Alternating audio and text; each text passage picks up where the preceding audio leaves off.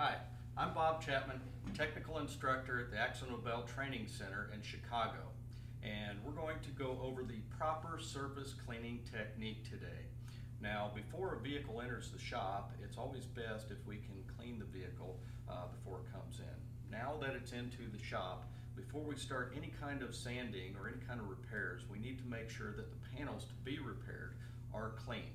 And we need to clean them with both water-based auto prep Ultra Prep surface cleaner and solvent-based M600.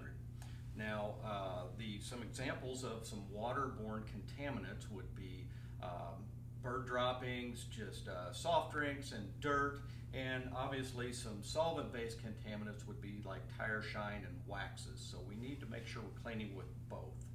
Uh, so the way we do that, the proper technique is we need to wet the panel down completely. We need to make sure it's saturated. And the reason is the way these cleaners are designed is they float the contaminants to the top. Okay, so and then we take a multiple towel method.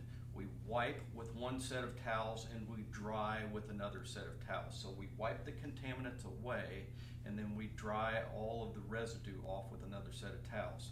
We want to make sure that we're changing our towels out with always using a clean towel.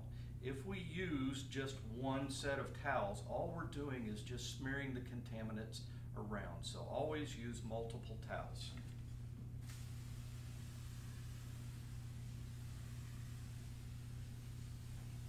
Again, get it good and wet. Multiple towels.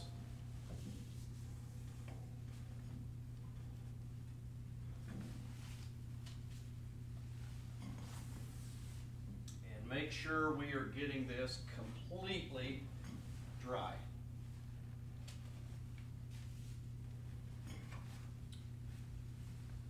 And do that with both water-based and solvent-based cleaners. Okay, now don't allow these to evaporate on their own, okay, because all that does is lifts contaminants up and then lets them go right back on the panel. So make sure you're using multiple towels um, and make sure you're cleaning it every step of the repair process, even before body work is started. As always, thank you for watching and thank you for choosing AkzoNobel.